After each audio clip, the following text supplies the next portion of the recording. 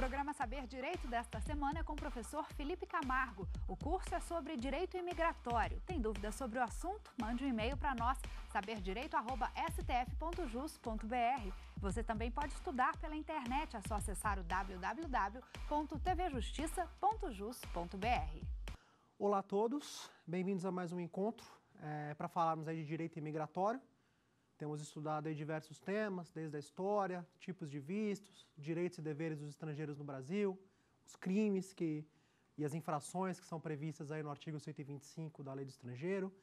E no último encontro discutimos aí é, as principais modalidades de visto temporário, né, sem contrato de trabalho, com contrato de trabalho, que é o visto mais comum, né, aí nas empresas multinacionais brasileiras. E agora a gente chegou no ponto é, de falar dos vistos permanentes, processos de permanência no Brasil. Quando é que o estrangeiro adquire esse caráter? Há várias formas do estrangeiro obter é, visto permanente no Brasil. Tá? Ou seja, visto permanente não é um só, ele é uma categoria. É como se fosse o visto temporário com várias subcategorias. O visto permanente não é diferente. Ele tem várias formas de ser obtido. Via Ministério do Trabalho e Emprego também, ou porque o estrangeiro detém uma condição que lhe permite é, pleitear esse tipo de visto. Via Ministério do Trabalho e Emprego, nós temos aí, por exemplo, os vistos de administrador, os vistos de investidor, né, que são vistos que, pela questão da atividade a ser desenvolvida no Brasil, atividades de gestão, de, represent, é, de, de representante legal, não cabe o visto temporário, de acordo com as vedações da, da lei do estrangeiro, tem que ser um visto permanente. Ou ainda, se o estrangeiro tiver filho brasileiro, tiver cônjuge brasileiro, também faz é, o estrangeiro faz jus aí a obter um visto permanente no Brasil. Ou seja, várias formas aí do estrangeiro ter essa condição e a permanência lhe dá direito, é, direitos um pouco maiores do que a, os direitos de visto temporário. Alguns vistos permanentes não é, eximem o estrangeiro de qualquer vínculo com a empresa, o visto pertence a ele, ele fica no Brasil normalmente e sem aquela necessidade de trabalhar unicamente para a empresa brasileira, como acontece no visto temporário com o contrato de trabalho. Vamos começar então falando do visto permanente modalidade representante legal. Tá? É um dos vistos permanentes aí mais utilizados pelas multinacionais. E quando? Né? Em que situações que uma multinacional é, requer esse tipo de visto? Sempre quando é, eles desejam mandar ao Brasil uma pessoa para ser representante legal. Ou seja, como é vedado para um estrangeiro com visto temporário assinar documentos em nome da empresa brasileira, atos de gestão, assumir compromissos perante terceiros, tá? não há outra saída para a empresa estrangeira a não ser requerer o visto permanente para essa pessoa. E vale lembrar que, mesmo estrangeiros com visto temporário que têm o nome em procuração, procurações otorgadas pelos presidentes, mesmo isso não os torna capazes de serem representantes legais. Tá? O que torna um estrangeiro capaz de ser representante legal de uma empresa brasileira é unicamente o visto permanente. Ok? O visto permanente de administrador é regulamentado pela Resolução Normativa número 62 do Ministério do Trabalho e Emprego e ela que vamos passar a analisar a partir de agora.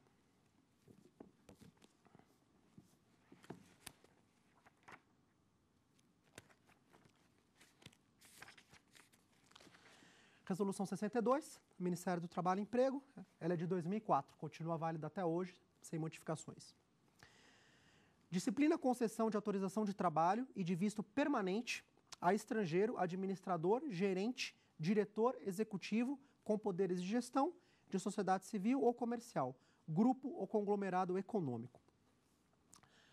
Pela própria forma de se expressar, né, aqui do nosso preâmbulo da, da resolução, Vejam as palavras que eles utilizam: administrador, gerente, diretor, executivo, com poderes de gestão.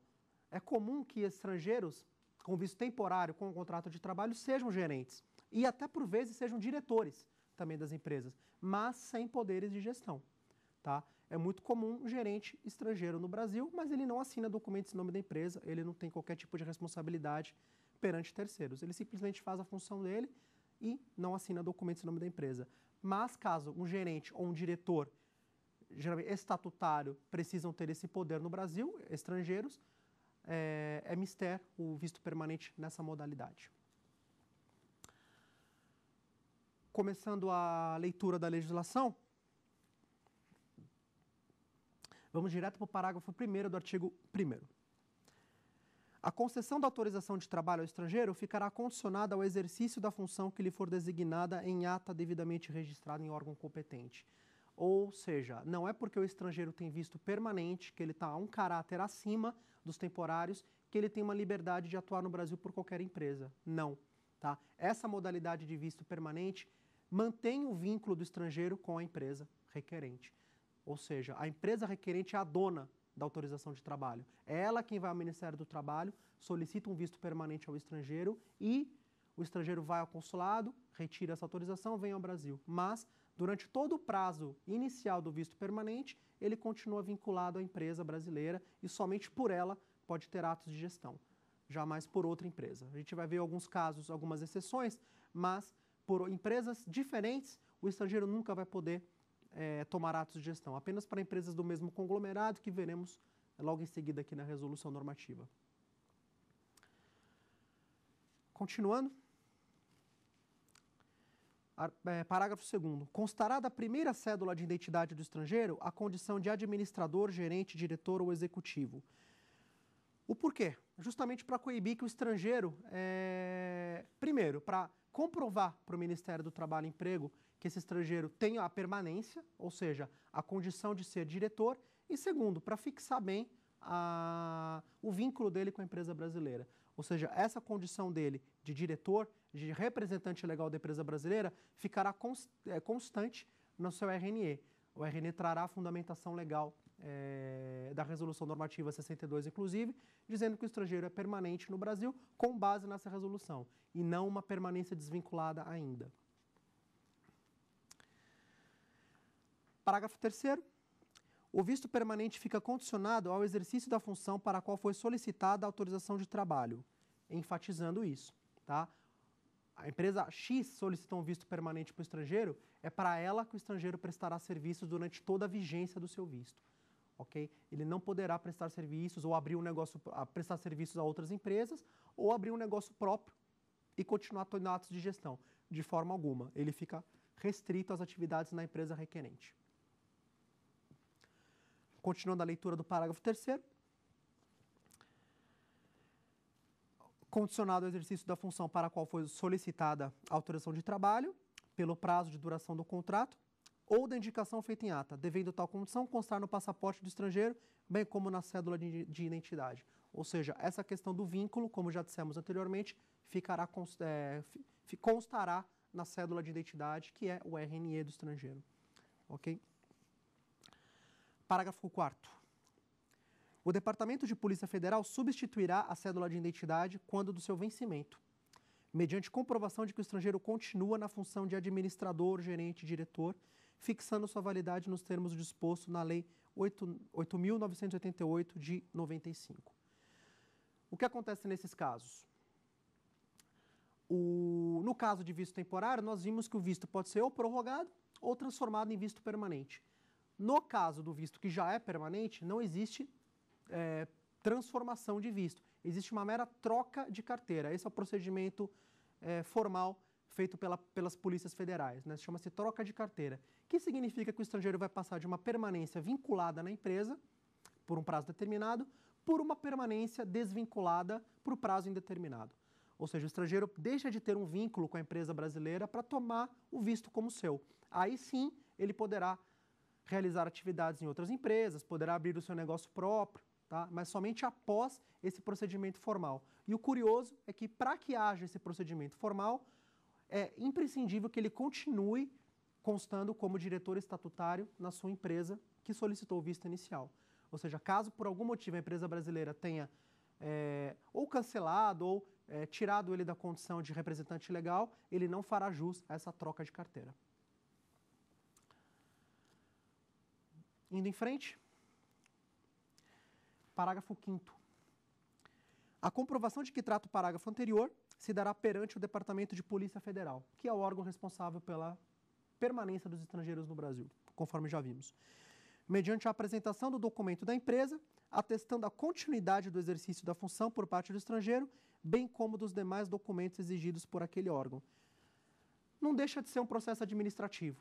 Tá? Só que dessa vez ele não vai ser julgado pelo Ministério do Trabalho, a própria Polícia Federal recebe esses documentos e é, eleva esse processo ao Ministério da Justiça para apreciação, tá? E entendendo o Ministério da Justiça que estão satisfeitas as condições, o estrangeiro recebe o seu RNE de forma definitiva, desvinculada da empresa brasileira. Indo em frente.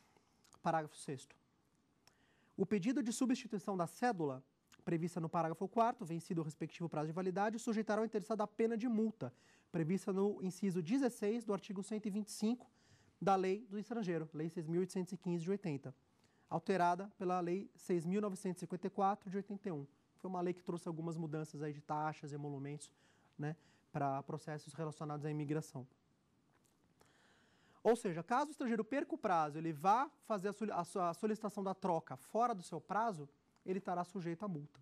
Tá? Então ele deverá observar, de preferência, fazer isso pelo menos 30 dias antes do vencimento do seu RNE inicial e levar à Polícia Federal a documentação, protocolizar, recebe o seu, o seu documento comprobatório e espera a análise desse processo para verificar se vai ter ou não a permanência definitiva. Indo em frente, parágrafo 7 a mudança para outra empresa, que não a do mesmo conglomerado, com anuência da chamante, dependerá de autorização do Ministério da Justiça, ouvido o Ministério do Trabalho e Emprego. Há a possibilidade, inclusive no visto temporário, de que o estrangeiro mude de empresa, e que, mas nunca uma empresa diferente, ou seja, um estrangeiro com contrato de trabalho poderia eventualmente ir para a filial, ir para a empresa da, de outra cidade, ainda que os CNPJ sejam diferentes, mas são empresas do mesmo conglomerado. Para isso, basta que seja notificado o Ministério do Trabalho e o Ministério do Trabalho e Emprego. No caso do visto permanente, a, situação é um pouco diferente. A mudança para outra empresa que não é do mesmo conglomerado, com anuência do chamante, dependerá de autorização do Ministério da Justiça.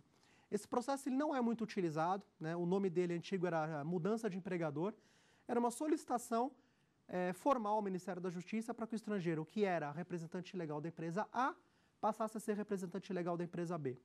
É um processo demoradíssimo que acabou caindo em desuso. É muito raro hoje em dia uh, nós vemos os estrangeiros solicitando esse tipo de procedimento. O mais comum é que eles cancelem o visto inicial e façam um visto novo pela outra empresa. É muito mais rápido, muito mais célere. Artigo 3 né? A sociedade civil comercial que desejar indicar o estrangeiro para exercer função de administrador, gerente, diretor executivo, deverá cumprir com os requisitos estabelecidos pelo Ministério do Trabalho e Emprego, quanto às disposições legais referentes à constituição da empresa, a comprovar.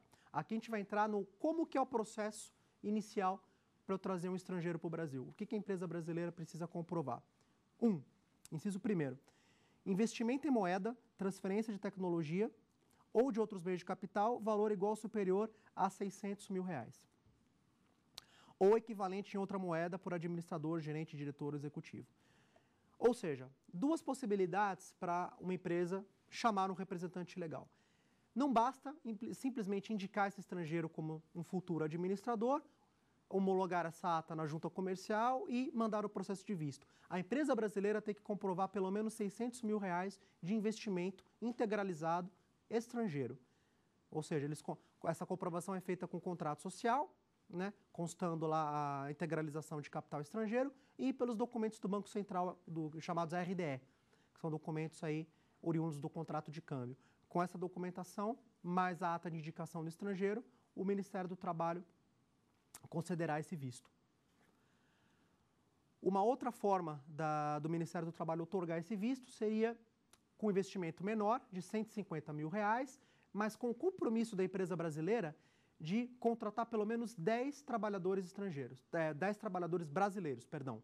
Ou seja, o investimento é menor, mas a empresa brasileira se compromete, aí no prazo de dois anos, a contratar 10 trabalhadores brasileiros. Não precisa ser a contratação no momento de, de protocolizar o processo administrativo. A empresa brasileira vai ter dois anos tá, para fazer essas contratações. Satisfeito isso, no final do segundo ano, o, a empresa brasileira poderá obter o visto até o final. O visto permanente é válido por cinco anos, mas nesse caso é, seria válido por dois anos. E só o estrangeiro só ganharia mais três anos caso comprovada a contratação desses profissionais.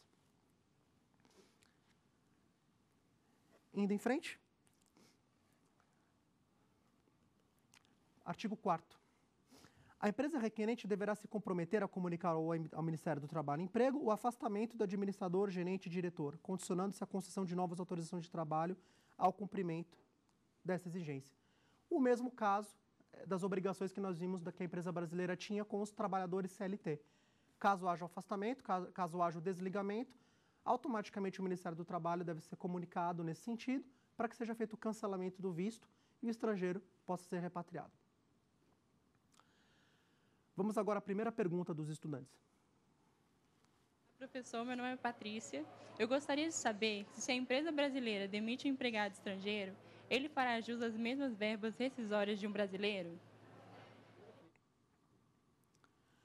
Com certeza, tá? Isso nós vimos aí no nosso último encontro. É... A regra de contratação de mão de obra estrangeira para o visto temporário com contrato de trabalho ela é interessante porque todo o regramento jurídico que é dado para o estrangeiro também é dado pelo Brasil, ao brasileiro e vice-versa. Ou seja, tudo que se aplica ao brasileiro, férias, 13 terceiro, é, fundo de garantia, tudo que a empresa brasileira oferece ao trabalhador brasileiro, ela deverá oferecer ao estrangeiro também. Quando da rescisão, da mesma forma. E as rescisões também pode ser por justa causa ou sem justa causa. Tá? Se for é, sem justa causa, todas as verbas rescisórias, as multas deverão ser cumpridas da mesma forma que fosse com um trabalhador estrangeiro. Ou seja, a empresa brasileira tem obrigações trabalhistas formais com o estrangeiro quando vista temporário por contrato de trabalho. Voltando agora ao visto permanente, da resolução 62 do Ministério do Trabalho, vimos então que há a obrigação da empresa brasileira comunicar o afastamento do estrangeiro para que seja feito o cancelamento do visto em caso de desligamento do executivo. Artigo 5 é um dos mais importantes aqui da resolução normativa. O exercício de novas funções constantes do estatuto da empresa, ou na hipótese de concomitância constantes dos estatutos das demais empresas, do mesmo grupo ou conglomerado econômico, deverá ser previamente solicitado ao Ministério do Trabalho e Emprego. Esse processo é, é normalmente chamado de concomitância. O que, que ele significa? Pelo próprio nome, significa que o estrangeiro concomitantemente vai ser representante legal de todas as empresas do mesmo grupo. Ou seja, supondo uma holding no Brasil e ela tem várias empresas do mesmo grupo. E não basta para o estrangeiro que ele seja representante legal de apenas uma, ele deverá responder por todas elas. Ou seja, primeiro vai ser feito um processo inicial por uma delas e, junto com esse processo inicial, o pedido de concomitância para todas as outras. Basta que todas elas indiquem individualmente esse estrangeiro para ser o administrador e o Ministério do Trabalho vai autorizar essa, essa, essa atividade concomitante em todas as empresas. Caso essa necessidade surja depois do estrangeiro já estar tá aqui no Brasil, inicialmente não havia necessidade da concomitância, mas essa necessidade surgiu a posteriori. Da mesma forma, o Ministério do Trabalho recebe essa, a documentação, que é uma, o estrangeiro sendo indicado para vir a ser o administrador dessas empresas, e via diário oficial, autoriza a, a concomitância para esse estrangeiro. Basta que ele vá junto ao comercial e tome posse, seja homologada a sua posse como representante legal das outras empresas do grupo.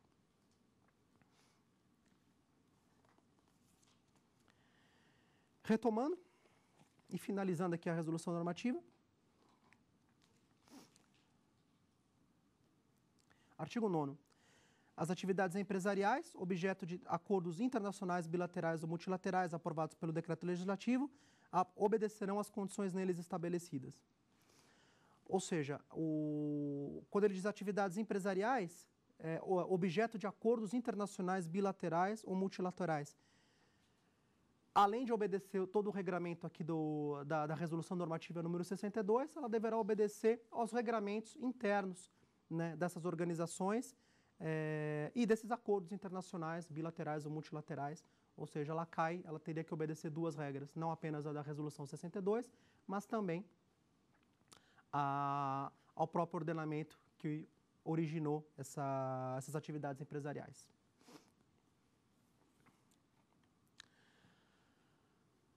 Vimos então uma forma é, dos estrangeiros obterem visto permanente no Brasil, que é a forma mais comum que é via atividade empresarial, que é via representante legal, tá? quando a empresa brasileira deseja receber um estrangeiro no Brasil para vir a ser o seu administrador. Basta, então, que ela tenha pelo menos 600 mil reais de capital social integralizado, capital estrangeiro, e que ela indique esse estrangeiro para vir a ser o administrador é, na sua empresa. Com isso, o, o, governo, sem maiores problemas, vai emitir esse visto permanente para o estrangeiro para que ele possa vir aqui no Brasil. E algo muito interessante no visto permanente é que, ao contrário do visto temporário, ele permite que os dependentes trabalhem automaticamente. Ou seja, o cônjuge de um beneficiário do visto permanente pode trabalhar no Brasil sem qualquer problema. E não precisa ser necessariamente na empresa requerente. Essa é a grande, é, a grande curiosidade desse tipo de visto. Ou seja, a esposa ou o marido do beneficiário desse visto, simplesmente após obter o RNE, né, na, via registro na Polícia Federal, dirige-se à Delegacia Regional do Trabalho, obtém a carteira de trabalho e pode, normalmente, é, trabalhar ou ainda mesmo ser gestor, administrador de qualquer empresa pela própria questão de estar satisfeito os requerimentos da, da lei do estrangeiro. Uma outra forma de se obter o visto permanente no Brasil, é uma forma que é, ano a ano vem crescendo e vem chamando a atenção aí dos investidores estrangeiros, é o visto permanente na modalidade investidor pessoa física. Nesse tipo de visto, o estrangeiro ele tem duas opções. Primeiro, ele vem ao Brasil a negócio, a turismo, e investe, cria uma empresa, cria um negócio ou ele vem ao Brasil e investe em um negócio já é, existente aqui no país. Dessas duas formas, satisfeitas algumas condições na resolução normativa que nós vamos ler em instantes, o governo também outorga para esse estrangeiro um visto permanente. Dessa vez, um pouco diferente da modalidade representante legal, porque agora não é o agora quem investe o dinheiro não é mais a empresa brasileira, não é mais a empresa estrangeira.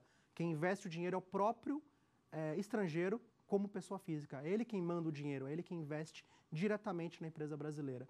E os requisitos para comprovação desse investimento são os mesmos: contrato social constando integralização e ah, os documentos do Banco Central mostrando aí a, a remessa de capital, contrato de câmbio, etc.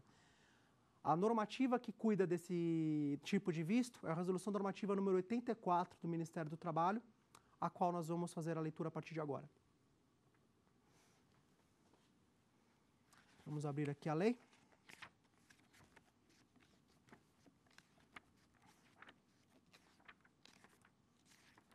Muito bem. Resolução normativa 84, tá? Ela foi editada em 2009. Disciplina a concessão de autorização para fins de obtenção de visto permanente para investidor estrangeiro, modalidade pessoa física. Artigo 1 o Ministério do Trabalho e Emprego poderá autorizar a concessão de visto permanente ao estrangeiro que pretenda fixar-se no Brasil com a finalidade de investir recursos próprios de origem externa em atividades produtivas. O governo frisa aqui atividades produtivas porque a gente volta àquela questão já discutida anteriormente. Se o estrangeiro tem um imóvel aqui no Brasil, isso não é condição para que ele tenha visto no país. Se ele tem uma, uma fazenda, se ele tem ações, isso em si não configura investimento em atividade produtiva. Isso é um bem móvel ou imóvel que ele detém para si, mas que não é produtivo, ou seja, não gera emprego, não, não fomenta economia.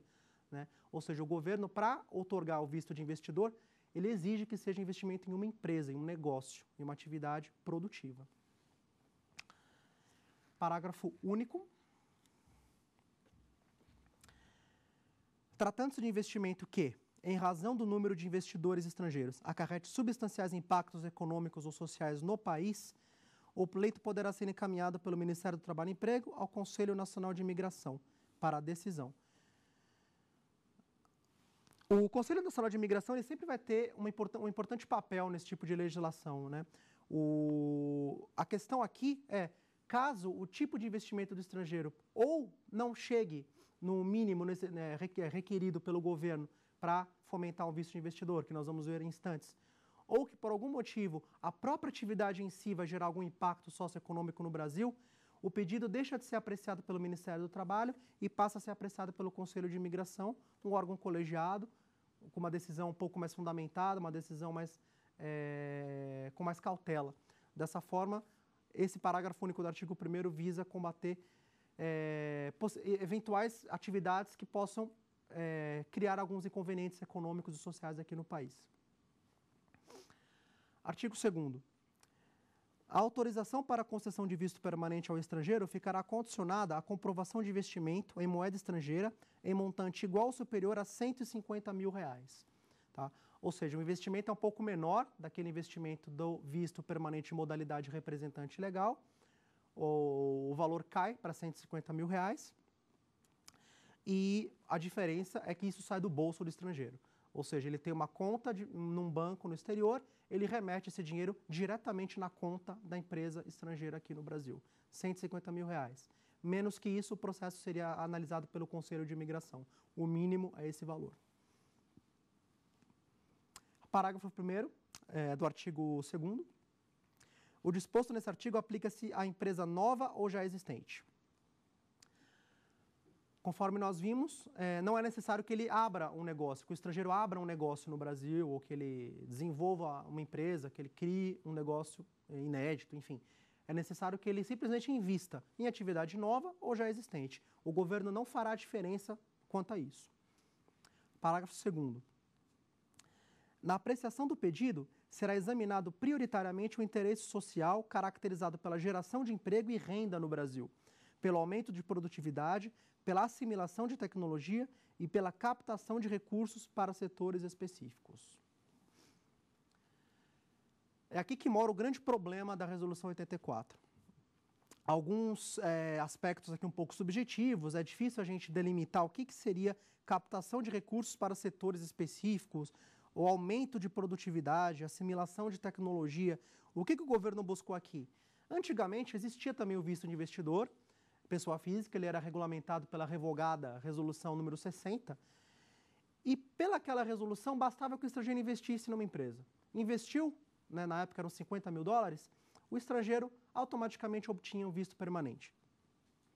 O governo passou a perceber que, por política de imigração, não estava valendo a pena. É, tava, estava acontecendo uma enxurrada de autorizações de trabalho nesse sentido, para atividades que não geravam emprego nenhum, tá? pessoas comprando literalmente esse tipo de visto, né? criavam uma empresa, obtinham visto, a empresa era, era uma empresa laranja, depois o estrangeiro sumia com esse tipo de visto. Ou seja, o governo aqui quis que esse visto tivesse algum propósito. Qual que seria o propósito desse visto? Beneficiar a economia brasileira de alguma forma. Tá? O que a gente pode é, assimilar desse, desse parágrafo segundo é que o, o aspecto mais importante aqui é a geração de empregos.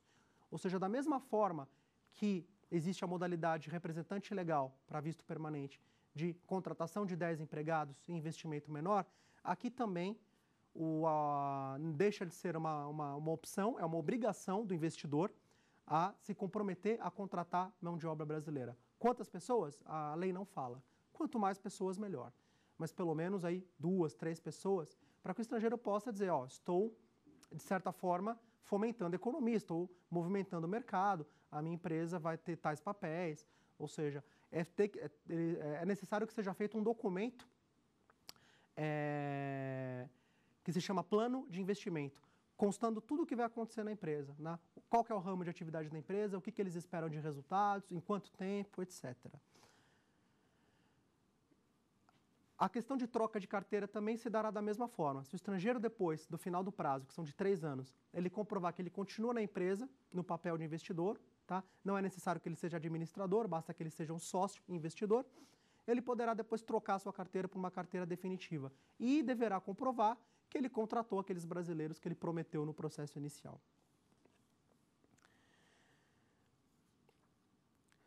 A, a lei não fala em autorização de concomitância para esse tipo de visto, né? Então, mas é, é, caso haja empresas do mesmo grupo é, no que o estrangeiro tenha investido, né? É, seria interessante enviar um processo ao Conselho Nacional de Imigração para verificar se, de repente, o, o, Conselho autorizaria a um processo de concomitância. Mas a lei é omissa quanto a isso, né? E não é comum esse tipo de pedido, porque geralmente o estrangeiro abre seu próprio negócio e não há uma outra empresa do mesmo grupo pela qual ele se interessa a vir a ser o administrador. Então, recapitulando o visto de investidor, quais são os requisitos? Investimento de 150 mil reais, no mínimo. Contratação de mão de obra brasileira, número é, não, é, não é trazido pela lei, mas quanto mais brasileiros, melhor. E um plano de investimento, no qual o estrangeiro vai explicar no que, que se fundamenta o seu negócio, qual tipo de empresa, quantos empregados ele vai contratar e como ele espera que a empresa dele é, funcione no mercado, que fomente o mercado de uma forma positiva, não apenas simplesmente para comprar um visto e ficar no Brasil, perdido por aí. Vamos chamar agora a nossa segunda pergunta. Olá, professor. Meu nome é Clara eu gostaria de saber se estrangeiros podem abrir empresa no Brasil e atuar como administradores. Podem, né? De acordo com o que estamos estudando hoje, o estrangeiro que queira abrir uma empresa no Brasil, ele tem total liberdade para isso. O visto mais indicado nesse tipo de caso é o visto permanente modalidade investidor pessoa física e, nesse caso, o estrangeiro deverá constar como administrador. Se ele quer ser o administrador, além dele investir, ele deverá ser nomeado pela empresa um mero ato societário, como não sendo apenas um sócio investidor, mas como sendo administrador. Ou um estrangeiro com visto permanente, por qualquer motivo, é, filho brasileiro, cônjuge brasileiro, que quiser abrir uma empresa no Brasil, também não há qualquer tipo de vedação nesse sentido. Lembrando que para um estrangeiro ser sócio de uma empresa brasileira, ele não precisa nem de visto no Brasil. Ele precisa apenas de um CPF, que ele pode obter até a título de turista, e com isso ele pode vir a ser o sócio da empresa. Mas para ele ser o administrador da empresa, para ele atuar pela empresa, é necessário um visto permanente.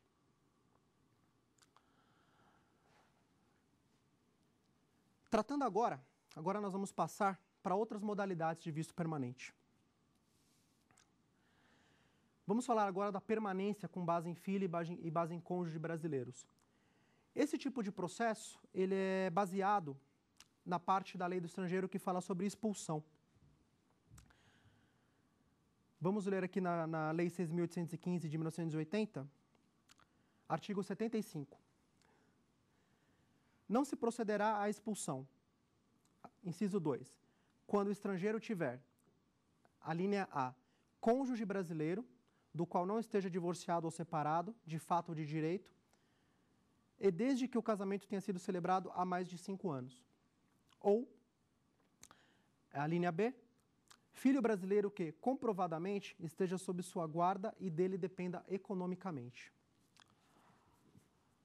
A questão da permanência e esse tipo de processo ele é chamado de reunião familiar. Ele serve, como o próprio nome diz, para colocar toda a família unida no Brasil. Se o estrangeiro veio ao Brasil, vamos supor, com visto de trabalho, e durante a sua estadia eh, veio como solteiro, conheceu uma brasileira ou essa estrangeira conhece um brasileiro, ambos é, se casam aqui no país ou se casam no exterior, esse estrangeiro cônjuge fará jus sim ao visto permanente. A lei fala em mais de cinco anos, mas hoje em dia, pela prática imigratória do Ministério da Justiça, mesmo os casamentos mais recentes é, são tolerados para fins de, da obtenção desse visto. E como funciona esse processo? Os estrangeiros vão levar a documentação, né, ou seja, certidão de casamento, uma série de outros documentos que comprovem que eles realmente estão casados, que o governo se preocupa com é, eventuais casamentos falsos, apenas para, com, com o fim de obter um visto. Então, eles levam toda essa documentação à, à Polícia Federal de sua jurisdição e recebem um protocolo da Polícia Federal. Esse protocolo significa que eles deram entrada no processo, nada mais do que isso. Dando entrada no processo, é, o processo ele não, é, é, não é muito rápido. Ele leva cerca de um ano para ser aprovado pelo Ministério da Justiça. Tá? E durante esse tempo todo, o estrangeiro, por uma, por uma benesse do Ministério da Justiça, ele é autorizado a ficar no Brasil, aguardando pela aprovação, e, inclusive, retirar a carteira de trabalho, ainda que ele não tenha o RNE. Tá? Então, ele pode ir à delegacia do trabalho, fazer a sua carteira profissional e trabalhar, ainda que ele não tenha o RNE definitivo, ainda que o processo dele não esteja aprovado. A Polícia Federal vai é, verificar essa questão, vão fazer diligências surpresas na, na residência desses estrangeiros, com o fim de comprovar se tudo aquilo que foi informado no processo inicial corresponde à verdade ou não. Tá? Ou seja, é muito perigoso é que alguns estrangeiros têm a prática de tentar um visto permanente com base em casamento, mas acabam nem morando juntos, acabam viajando muito, mal ficam no Brasil. Aí, para a Polícia Federal, que é, que é o órgão que vai realizar a diligência, fica difícil para eles acreditarem que aquele casamento realmente tinha o fim de reunião familiar. Ou, para eles ficar mais caracterizado a tentativa de uma fraude no processo, eles acabam indeferindo o processo. Na questão do visto permanente com base em filho, o processo é da mesma forma. Tá? É muito comum, inclusive, esse tipo de processo. Né? O, os estrangeiros podem ter filhos brasileiros tanto aqui no Brasil quanto no exterior. O estrangeiro vem ao Brasil, ele pode nem se casar com o, o cônjuge brasileiro, mas nasce um filho dessa relação e, com base nessa, nesse filho brasileiro, o estrangeiro pode solicitar também o visto permanente né, de reunião familiar. É necessário que esse estrangeiro more no Brasil. Não adianta ele querer um visto permanente só porque ele tem um filho, mas ele mora no exterior e não encontra o filho. Tá? O intuito desse visto é colocar a família unida. Ou seja, também vai ser feita uma diligência na casa do estrangeiro para verificar se a família está vivendo junto ou não. Tá? Então, se o estrangeiro acaba viajando muito, se ele acaba se ausentando muito de casa, ou se ele de fato não mora com a esposa e com o filho, ou com o marido e com o filho, o, o processo virá ser, pode, pode ser negado. A Polícia Federal pode ficar não convencida de que essa reunião familiar é, tem que ser é, conferida a esse estrangeiro. Da mesma forma, o estrangeiro pode fazer essa solicitação via consulado brasileiro. Tá? Ou seja, o estrangeiro que é casado com uma brasileira ou tem um filho brasileiro, ao invés dele estar no Brasil e ir à Polícia Federal, ele pode diretamente no consulado brasileiro da sua jurisdição solicitar a reunião familiar. Assim como todo tipo de reunião familiar, na verdade. Tá? Ou seja, ele vai ao consulado brasileiro, ele apresenta a documentação, ele diz: Eu tenho um filho brasileiro ou tenho um cônjuge brasileiro, a minha intenção é ficar no Brasil, tá? e o cônsul vai ter o poder aí de conferir ou não esse visto pra, de reunião familiar para o estrangeiro. A questão dos cinco anos aqui é importante, porque se for um casamento anterior a cinco anos, o consulado brasileiro pode emitir o visto ex officio. Eles podem emitir o visto é, sem maiores consultas aos órgãos brasileiros. Tá? Agora, quando o casamento é mais recente, o processo é mais demorado. Eles precisam consultar os cartórios aqui no Brasil, fazer uma série de verificações antes de otorgar esse visto permanente para os estrangeiros. Passando em frente,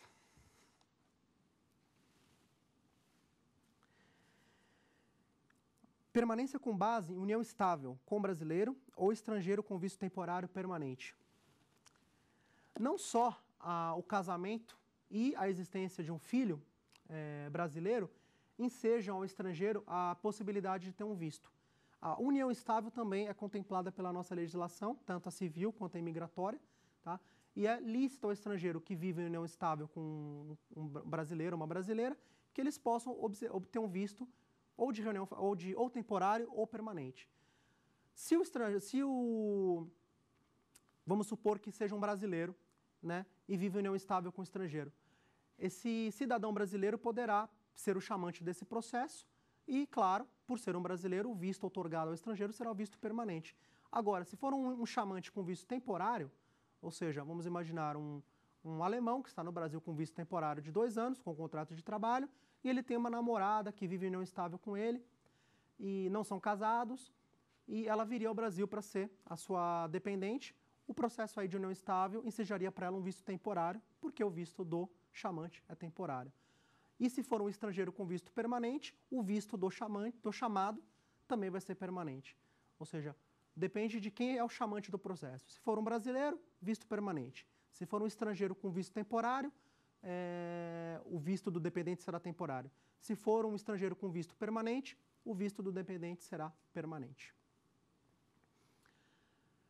E a lei brasileira, ela não faz distinção de sexo. Tá? Então, a lei brasileira permite, inclusive, casais do mesmo sexo façam essa, esse pedido. Ou seja, o brasileiro que é, é vive união estável com, com, com um cidadão estrangeiro poderá também é, obter o visto de dependente, poderá fazer o processo de reunião familiar, isso é completamente permitido né, é, pela nossa resolução, pela, pela lei de imigração, é desde 2003, na antiga resolução administrativa 5, até agora pela resolução 77, que aqui regulamenta hoje a, os processos de união estável. E a documentação para esse tipo de processo ela não é simples, né? não basta ele informar que vive união estável né, com uma pessoa para que o governo tome aquilo como verdade. Uma série de documentos são necessários para que se comprove a veracidade dessas informações. Quais documentos? Geralmente são declarações é, de órgãos governamentais. Não basta um cartório. Tá? Tem que ser ou um juiz de família ou um órgão público, né, com fé pública acima do cartório para que seja conferido veracidade a essas informações. Muitas vezes no exterior, as prefeituras das cidades, eles atestam a união estável dos estrangeiros esse documento serviria. É, na França, por exemplo, existe o PAX, que é um pacto de solidariedade, que não é um casamento, é como se fosse um contrato de união estável, esse documento é válido né, como união estável e, e o processo aqui no Brasil aconteceria normalmente.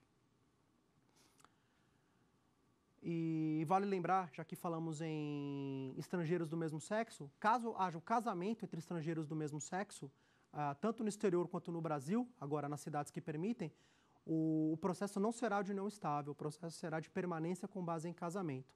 Tá? O Ministério da Justiça, da Justiça já aceita esse processo, né? então usa-se a certidão de casamento emitida no exterior ou feita aqui no Brasil como é, sustentáculo desse processo de reunião familiar. Ou seja, não é um processo de não estável, sim um processo de permanência com base em casamento. Indo em frente agora.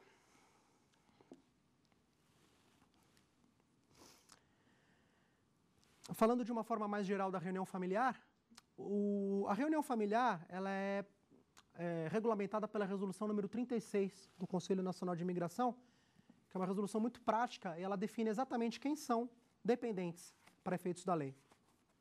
Podemos fazer uma leitura rápida?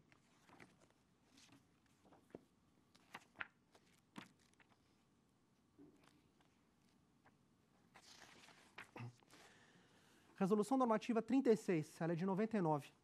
Concessão de visto temporário ou permanente a título de reunião familiar. Lembrando que permanência com base em casamento e filho não deixa de ser reunião familiar também. Artigo 1 o Ministério das Relações Exteriores poderá conceder visto temporário ou permanente a título de reunião familiar aos dependentes legais. Tá? Já pulando para o artigo 2 para o efeito de, do disposto nessa resolução, consideram-se é, dependentes legais. 1. Um, filhos solteiros, menores de 21 anos, ou maiores que comprovadamente sejam incapazes de prover o próprio sustento. Ou seja, se o estrangeiro quer trazer a família dele no Brasil como dependentes, os filhos têm que ser menores de 21 anos. Se forem maiores, o, o titular do visto deverá comprovar que ele ainda provém o sustento desses filhos. 2. Ascendentes, desde que demonstrada a necessidade efetiva de amparo pelo chamante. Ou seja, é muito comum alguns estrangeiros trazerem os pais como dependentes, comprovando que eles provêm o sustento dos pais. Nesse caso, os pais, os ascendentes, podem ser chamados normalmente. Terceiro, irmão, neto ou bisneto, se órfão, solteiro e menor de 21 anos, ou de qualquer idade, quando comprovada a necessidade de prover o próprio sustento. Colaterais dessa forma também beneficiados por essa pela regra de dependência da resolução 36. Cônjuge de cidadão brasileiro e cônjuge de estrangeiro residente temporário permanente no Brasil. Ou seja, essa resolução normativa, no, a import, grande importância dela é delimitar a questão das, dos dependentes. Quem são dependentes prefeito da lei? Muito comum alguns estrangeiros é, quererem trazer primos ou sobrinhos. Infelizmente, eles não são é, abarcados aqui pela, pelo rol do artigo 2 da Resolução 36. Então, entrando aqui nesse rol do artigo 2 comprovando-se nos casos que é, essa comprovação for necessária, sem nenhum problema, o consulado brasileiro vai emitir um visto de reunião familiar para essas pessoas.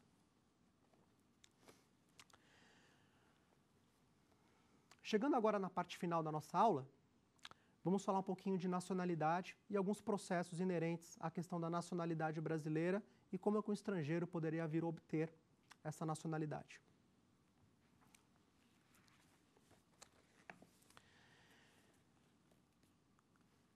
Trazendo à tona o artigo 12, inciso 1 da Constituição Federal do Brasil, quem são brasileiros natos para efeitos, dessa, para efeitos da Constituição? Primeiro, condições para serem brasileiros. Nascimento em território brasileiro, independente, independentemente de nacionalidade dos pais, exceto se os pais, sendo estrangeiros, estejam no Brasil a serviço de seu país. O Brasil adota esse caráter misto. Né? Vamos até ler, antes de eu falar isso, vamos ler o, a parte 2. Nascimento no exterior, ou seja, quem nasceu no exterior, mas de pai brasileiro ou mãe brasileira que esteja a serviço do Brasil. Agora, sim, falando do caráter misto, para ser brasileiro, é, tanto faz que o estrangeiro, que tanto faz que a pessoa nasça no Brasil, no território, ainda que os pais sejam estrangeiros, ou que a pessoa nasça no exterior, mas ou o pai ou a mãe sejam brasileiros. Então, o Brasil adota dois, o, existem os caráteres de ius sanguinis e ius solium, né? e alguns países adotam somente um ou outro, o Brasil adota o caráter misto, ou seja, é brasileiro quem nasce no Brasil e é brasileiro quem nasce no exterior, mas o pai ou a mãe é brasileiro.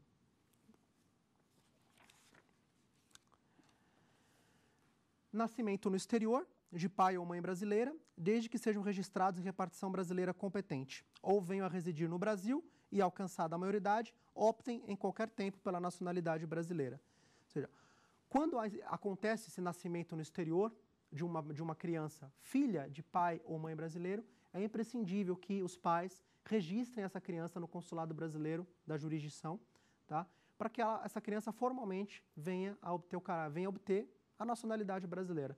Caso contrário, a criança somente no Brasil poderia fazer esse processo posteriormente, ou via é, registro público, via cartório, ou via processo de opção de nacionalidade, que vamos ver daqui a pouco. Falando na opção de nacionalidade, é um processo, é, ele era até que bastante comum nos últimos anos, mas com o advento da emenda constitucional 54 de 2007, esse processo foi perdendo um pouco a importância, tá? Porque a antiga redação do artigo 12, da inciso 1, a linha C da Constituição Federal, era, naquele tempo, são brasileiros os nascidos no estrangeiro, de pai brasileiro ou de mãe brasileira, desde que venham a residir na República Federativa do Brasil e optem, em qualquer tempo, pela nacionalidade brasileira. A emenda constitucional trouxe um algo a mais nascidos no estrangeiro de pai ou mãe brasileira, desde que sejam registrados em repartição brasileira competente ou venham a residir na República Federativa do Brasil. Ou seja, quem nascia fora do Brasil antigamente e deveria vir ao Brasil, ter residência aqui no país, para poder solicitar um processo de opção de nacionalidade, que nada mais é do que o exercício de nacionalidade. E o, era um processo judicial que se, dá, que se dava, e ainda se dá em alguns casos, via Justiça Federal. Vamos agora à terceira pergunta dos nossos alunos.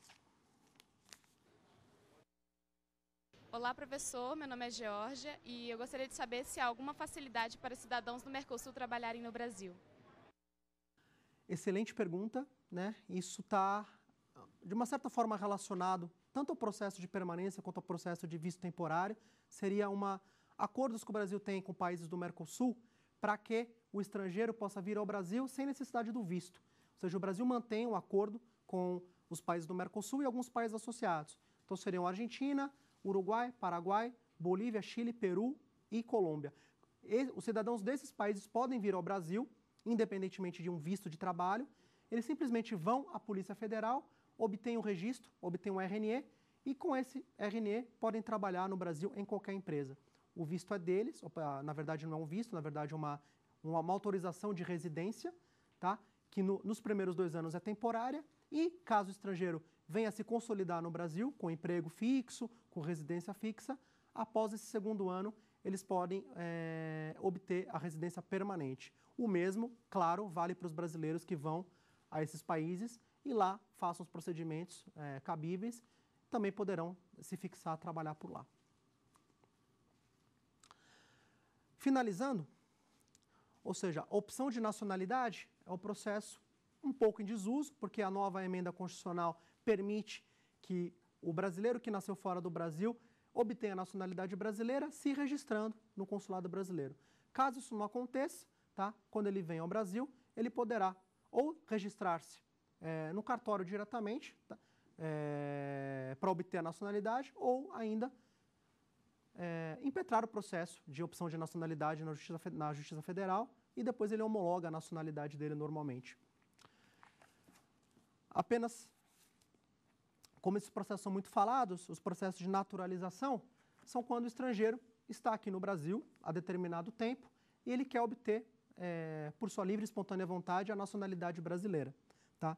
Existem três formas de naturalização. Primeiro, a naturalização extraordinária. São para os estrangeiros que estão no Brasil há mais de 15 anos. Esses estrangeiros eles podem, juntando uma documentação, é, preparam um processo administrativo que vai se dar no Ministério da Justiça e o processo é longo, mas ao final, Caso aprovado, eles obtêm a nacionalidade brasileira. Deverão, inclusive, os homens jurar a bandeira, cumprir obrigações militares, deverão saber falar e escrever em português, porque existe uma prova, enfim, todos os procedimentos de um brasileiro. Tá? A naturalização ordinária, ela acontece ah, em casos específicos, ela tem mais regramentos, não, não, não são necessários 15 anos de permanência no Brasil, mas é, menos, um pouco, a permanência pode ser um pouco menor que essa. Algumas, alguns, ah, alguns requisitos para a naturalização ordinária seria capacidade civil, permanência no Brasil, ou seja, um visto permanente no Brasil, saber ler e escrever em português, é, ter profissão, ter bom procedimento, ou seja, não ter antecedentes criminais, inexistência de denúncia, condenação no Brasil, boa saúde, residência contínua no território nacional. Né? Caso eles sejam ainda, além de reunir todos esses, é, todas essas, essas atribuições, eles ainda tenham filho ou cônjuge brasileiro, o prazo para eles obterem a naturalização cai. Ou seja, eles deverão comprovar um prazo menor no Brasil com visto permanente para solicitar a, a naturalização ordinária. Lembrando que os brasileiros naturalizados, quase todos os direitos de um brasileiro nato, apenas algumas restrições, aí, uh, restrições políticas, né, de candidatura, alguns cargos públicos, etc. Mas é, é, muito importante que o estrangeiro, ao solicitar a naturalização, ele verifique com seu país de origem o que, que acontece lá. Muitas vezes o estrangeiro se naturaliza e acaba perdendo a sua nacionalidade originária sem nem saber disso. Existem alguns acordos é, entre cartórios do Brasil e outros países, o estrangeiro acaba perdendo a sua nacionalidade originária e nem se dá conta disso. Então, o mais importante nesse processo é que o estrangeiro verifique, de fato, é, que ele vai se naturalizar brasileiro e que ele não vai perder a nacionalidade originária. Mas, se ele for perder a nacionalidade originária e não se importar com esse fato, ele pode obter ele pode dar prosseguimento com a, com a naturalização sem nenhum problema. Por fim, a possibilidade de perda da nacionalidade brasileira. Somente perderá a nacionalidade brasileira aquele que não confirmar a naturalização em sendo portador do certificado de naturalização provisória. Ou seja, a pessoa fez o processo de naturalização, foi aprovado, publicado em diário oficial e ela recebeu um certificado provisório. Se a pessoa não confirma essa naturalização, ela perderá a nacionalidade brasileira. Tiver cancelado a sua naturalização ou se ela adquirir outra nacionalidade. Ou seja, essa é uma hipótese de perda da nacionalidade. Se a pessoa, por algum motivo, se naturalizou brasileiro e depois adquiriu uma outra. O Ministério da Justiça pode cancelar essa nacionalidade. Com isso, nós chegamos ao fim do curso. É, muito obrigado a todos e até uma próxima oportunidade. Tem dúvidas sobre o assunto? Mande um e-mail para nós, saberdireito.stf.jus.br. Você também pode estudar pela internet, é só acessar o www.tvjustiça.jus.br.